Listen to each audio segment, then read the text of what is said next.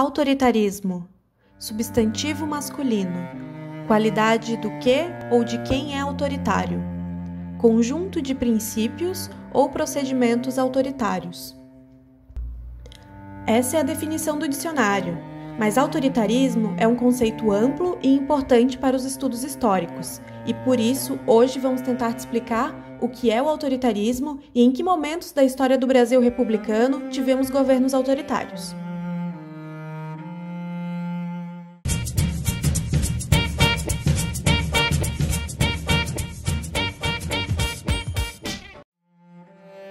Nossa experiência com a democracia é muito menor do que a nossa experiência com o autoritarismo, e isso faz parte da nossa forma de entender e praticar a vida política no Brasil.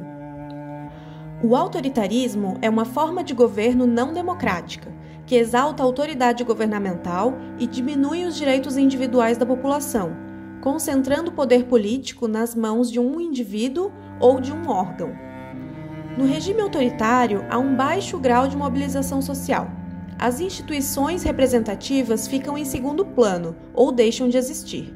Nesse regime, a oposição é esvaziada, proibida ou reduzida a algo sem expressão e força política.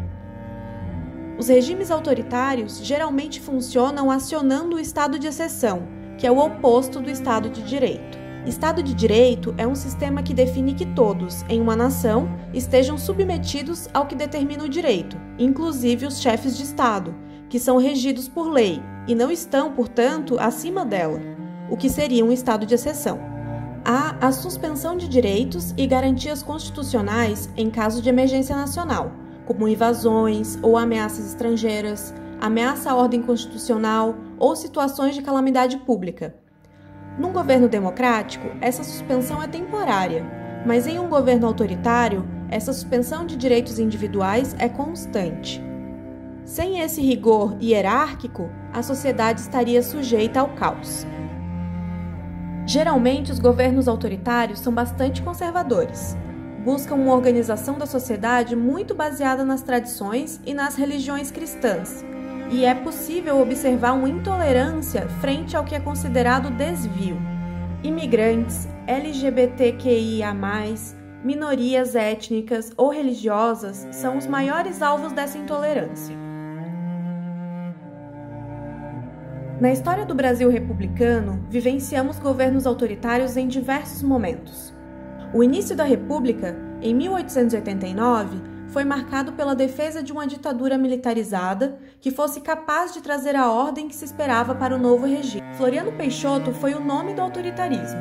Perseguiu, exilou e matou durante a Revolução Federalista.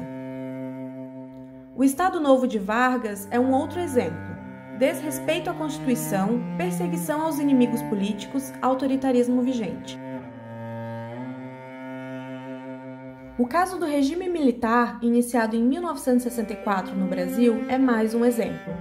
Através de sua doutrina de segurança nacional, que foi criada com a justificativa de proteger o país em um momento de crise, foi se extinguindo pouco a pouco os direitos individuais da população e passou-se a utilizar censura, tortura, prisões e assassinatos para lidar com aqueles que fossem contra essa nova ordem.